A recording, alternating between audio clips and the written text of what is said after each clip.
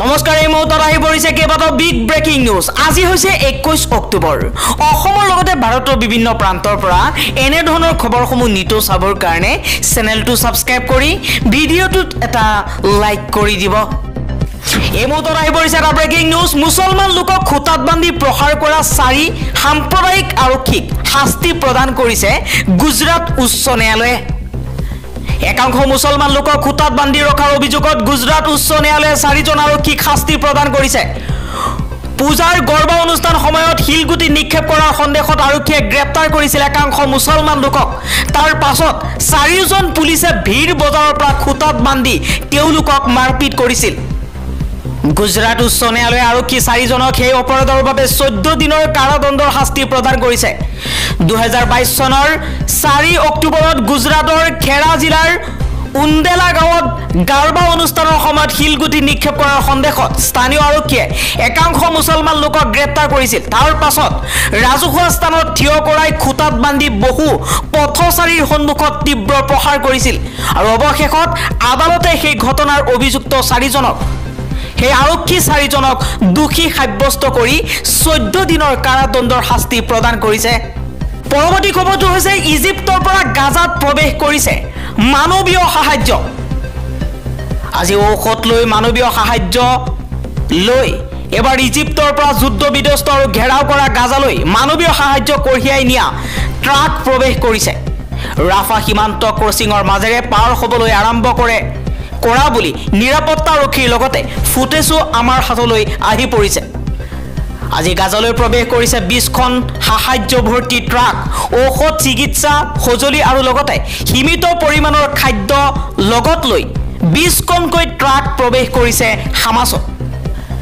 গাজাত প্ৰৱেশ কৰিছে বিছখনকৈ সাহায্য ভৰ্তি ট্ৰাক ঔষধ চিকিৎসা সঁজুলি আৰু সীমিত পৰিমাণৰ খাদ্য সামগ্ৰী লৈ বিছখনকৈ ট্ৰাক প্ৰৱেশ কৰিছে গাজাত।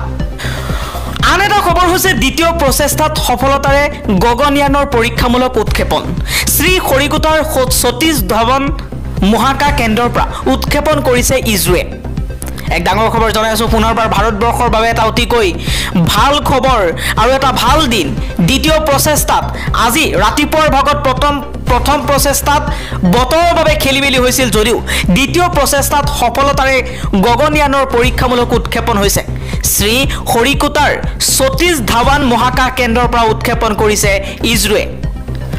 এই মুহূৰ্তত স্ক্ৰীণত আপোনালোকক দেখুৱাইছোঁ দ্বিতীয় প্ৰচেষ্টাত কেনেধৰণে সফলতাৰে গগনয়ানৰ পৰীক্ষামূলক পৰীক্ষামূলক উৎক্ষেপণ কৰিছে ইজৰোৱে। কেইটামান দৃশ্য আপোনালোকক এই মুহূৰ্তত দেখুৱাইছোঁ। পৰৱৰ্তী খবৰটো হৈছে যুৱ কংগ্ৰেছৰ ৰাষ্ট্ৰীয় সভাপতি শ্ৰী নিবাজলৈ উচ্চতম ন্যায়ালয়ৰ পূৰ্ণাংগ জামিন। কংগ্ৰেছৰ বহিষ্কৃত নেত্ৰী অংকিতা দত্তই তৰা যৌন নিৰ্যাতনৰ গোচৰত এইবাৰ জামিন লাভ কৰিছে যুৱ কংগ্ৰেছৰ ৰাষ্ট্ৰীয় সভাপতি শ্ৰী নিবাজ। আন এটা খবৰ হৈছে গুৱাহাটী মহানগৰীত সক্ৰিয় হৈছে integrated traffic management system traffic ছিগনেলত থকা চি চি টিভিসমূহো হৈ পৰিছে এতিয়া সক্ৰিয়। হেলমেট নিপিন্ধা ছিট বেল্ট পৰিধান নকৰা আৰু মোবাইলত কথা পাতি বাহন চলোৱা চালকলৈ যাব এছ এম এছ আৰু এছ এম এছ যোৱাৰ পাছতেই এহেজাৰ টকাৰ পৰা দহ হাজাৰ টকা পৰ্যন্ত ভৰিব লাগিব জৰিমনা। এক ডাঙৰ খবৰ জনাই আছোঁ। গুৱাহাটী মহানগৰীত সক্ৰিয় হৈ পৰিছে এতিয়া in integrated traffic management system. Traffic ছিগনেলত থকা চি চি টিভিসমূহো এতিয়া সক্ৰিয় হৈ পৰিছে। হেলমেট নিপিন্ধি ছিট বেল্ট পৰিধান নকৰি আৰু মোবাইলত কথা পাতি বাহন চলোৱা চালকলৈ যাব পোনপটীয়া এছ এম এছ আৰু এছ এম এছ যোৱাৰ পাছতেই ভৰিব লাগিব এহেজাৰ টকাৰ পৰা দহ হাজাৰ টকা পৰ্যন্ত জৰিমনা। আন এটা খবৰ হৈছে বৰ্তমান সময়ত ইজৰাইল আৰু পেলেষ্টাইনৰ মাজত চলি আছে যুদ্ধ। আৰু এই যুদ্ধৰ মাজতে এক ডাঙৰ প্ৰশ্ন এই মুহূৰ্তত আহি পৰিছে যে এই বৰ্বৰতাৰ উৰ কেতিয়া পৰিব? কোনে বৰ্বৰতাৰে গাজাৰ চিকিৎসালয়ত চলাইছিল আক্ৰমণ? আল জাজিৰাৰ অনু অনুসন্ধানত এইবাৰ ওলাইছে প্ৰকৃত সত্য। অক্টোবৰৰ দিনা হামাছ উগ্ৰপন্থীয়ে অতৰ্কিতে ইজৰাইলৰ ওপৰত চলোৱা আক্ৰমণত প্ৰায় চৈধ্যশৰো অসামৰিক আৰু সামৰিক লোকৰ মৃত্যু হৈছিল। উগ্ৰপন্থীসকলে শিশু বৃদ্ধকে ধৰি প্ৰায় দুশ ইজৰাইলী লোকক অপহৰণ কৰি নিছিল। এক কল্পনা এক কল্প কাহিনীৰ দৰে অবিশ্বাস্য আছিল হামাজৰ সেই আক্ৰমণ। হামাছৰ আক্ৰমণক সকলোৱে এক মুখে ঘৰিষণা দিছিল কিন্তু তাৰ পিছৰ পৰা মধ্যপ্ৰাচ্যৰ পৰিস্থিতি অতি উত্তেজনাপূৰ্ণ হৈ পৰিছে। ইজৰাইল জকি উঠে আৰু হামাছক নিশেষ কৰিবলৈ ইজৰাইলে গাজাৰ ওপৰত আকাশ মাৰ্গেৰে দাৰাষাৰ বোমা নিক্ষেপ কৰিবলৈ আৰম্ভ কৰে। বোমা বৰ্ষণৰ ফলত কিমান হামাছ উগ্ৰপন্থীৰ মৃত্যু হৈছে সেইটো আমি নাজানো। কিন্তু গাজাৰ স্বাস্থ্য মন্ত্ৰণালয়ে দিয়া তথ্য মতে এতিয়ালৈকে প্ৰায় তিনি হাজাৰ পেলেষ্টাইনিয়ান লোকৰ মৃত্যু হৈছে আৰু প্ৰায় বাৰশ লোক মৃত বা জীৱিত অৱস্থাত মাটিৰ তলত পোত খাই আছে। স্থল আক্ৰমণেৰে হামাছক হলঠেকত পেলাবলৈ ইজৰাইলে গাজাত থকা দহ লাখ সাধাৰণ নাগৰিকক চৌব্বিছ ঘণ্টাৰ ভিতৰত উত্তৰ গাজা এৰি দক্ষিণ গাজালৈ যাবলৈ বাৰে বাৰে সতৰ্ক কৰি দি আছে। আনহাতে হামাছে কৈ আছে যে ইজৰাইলৰ এইবোৰ মিছা প্ৰচাৰ ইজ নিজৰ ঘৰ বাৰী এৰি কোনেও কলৈকো যোৱাৰ প্ৰয়োজন নাই। ইজৰাইল আৰু হামাছৰ ৰণত সাধাৰণ পেলেষ্টাইনী ৰাইজৰ একো নাই অৱস্থা। তাৰ মাজতে জীয়াই থকাৰ আশাত হাজাৰ হাজাৰ পেলেষ্টাইনী লোকে নিজৰ লাম লাকটো য'ত যি পায় তাকে লৈ দক্ষিণ গাজালৈ ঢাপলি মেলিছে। কোনোবাই বা কোনোবাই বা চিকিৎসালয়ত আশ্ৰয় লৈছেগৈ। কোনোবা খোৱা পানী নাই বিদ্যুৎ যোগান নাই ব্যাহত হৈ পৰিছে। কিন্তু এনেকেই জীয়াই আছে। খাদ্যৰ অভাৱ ৰুটিৰ দোকানত দীঘল দীঘল শাৰী গাই প্ৰতি প্ৰতিজন মানুহৰ বাবে মাত্ৰ এক লিটাৰ পানী। চিকিৎসালয় চলি আছে। জেনেৰেটৰৰ ওপৰত। তাকো কোন মুহূৰ্তত জেনেৰেটৰ বন্ধ হৈ চিকিৎসালয়ত অচল অৱস্থাৰ সৃষ্টি হয়? ঠিক নাই। চিকিৎসালয়ত থকা শিশু গৰ্ভৱতী মহিলা বৃদ্ধ ৰোগী সকলৰ অৱস্থা এতিয়া সংকটাপন্ন। চাৰিওফালে এক নৰক সদৃশ বিভীষিকাময় পৰিস্থিতি। তেনেতে কি হ'ল?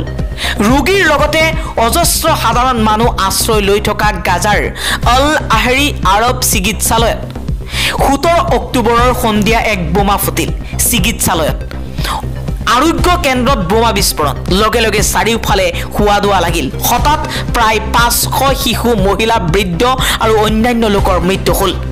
আৰৱ ৰাষ্ট্ৰসমূহে বোমা বিস্ফোৰণৰ বাবে ইজৰাইলক জগৰীয়া কৰিলে। কিন্তু ইজৰাইলে ক'লে যে হামাছৰ লক্ষ্যভ্ৰষ্ট ৰকেটেহে হেনো চিকিৎসালয়খন ধ্বংস কৰিলে। তাৰ প্ৰমাণ হিচাপে তেওঁলোকে অল জাজিৰা সংবাদ সংস্থাৰ লাইভ ষ্ট্ৰীম ভিডিঅ' এটাক প্ৰমাণ হিচাপে দাঙি ধৰিলে। কিন্তু অল জাজিৰাৰ ডিজিটেল অনুসন্ধানে সোতৰ অক্টোবৰৰ সন্ধিয়া ছয় বাজি পঞ্চল্লিছ মিনিটত আৰু ছয় বাজি আঠাৱন্নৰ ইজৰাইলী যুঁজাৰু বিমান আৰু হামাছৰ ৰকেট নিক্ষেপৰ মাজত হোৱা সংঘৰ্ষৰ তন্ন তন্ন খতিয়ান দি ক'লে যে ছয় বাজি আঠাৱন্ন মিনিটত হামাছৰ সেই ৰকেটটো ইজৰাইলে জব্দ কৰিছিল। আৰু তাৰ আগে আৰু তাৰ ঠিক পিছতে গাজাত ইজৰাইলৰ যুঁজাৰু বিমানে উপৰ্যুপৰি বোমা বৰ্ষণ কৰিছিল। সেই বোমা বৰ্ষণেই অল আহলি আৰব চিকিৎসালয় বিধ্বস্ত কৰি হত্যালীলাৰ সৃষ্টি কৰিছিল। এইখিনিতে যোৱাকালি কৰণ থাপাৰৰ সৈতে হোৱা চৈধ্য মিনিটৰ সাক্ষাৎকাৰ এটাত পেলেষ্টাইনিয়ান নেশ্যনেল ইনিচিয়েটিভৰ সভাপতি মুস্তাফা বাৰ গৌতীয়ে কোৱা কথাকেইটা তাৎপৰ্যপূৰ্ণ। তেওঁৰ মতে চিকিৎসালয়খনৰ ইজৰাইলে আক্ৰমণ কৰা নাই বুলি কোৱা কথাটো a lie and U S president Joe' Biden agreeing with the Israel claim is unacceptable. এইটো এটা মস্ত ফাঁকি আৰু আমেৰিকাৰ ৰাষ্ট্ৰপতি জ' বাইডেনে তেওঁলোকৰ সুৰতে সুৰ মিলোৱাটো আমাৰ কাৰণে মুঠেই গ্ৰহণযোগ্য নহয়। তেওঁ লগতে কৈছে যে চিকিৎসালয়খনত আক্ৰমণ কৰা ইজৰাইলৰ ভাষ্যটো তেওঁলোকে তিনিবাৰ সলাইছে।